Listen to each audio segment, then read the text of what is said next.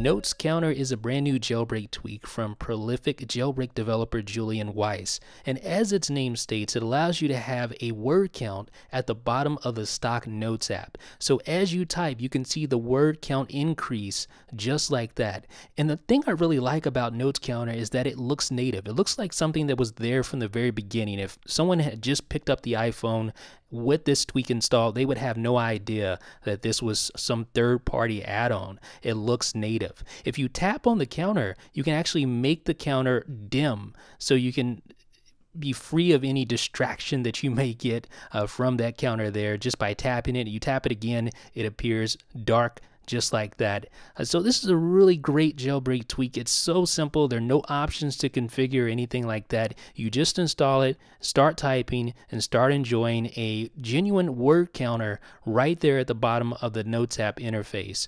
So if you're a, a big typer, you use the Notes app to type out lot, a lot of long document or a lot of long, I don't know, whatever you're typing in there. This is a great jailbreak tweak for you. You can find it over on Cydia's Big Boss repo. And as with a lot of Julian's uh, jailbreak tweaks, this is an absolutely free edition. You can download it right now and begin enjoying a genuine word counter at the bottom of the stock Notes app. And it works on all devices. Let me know what you guys think in the comment section. This is Jeff with iDownload Blog.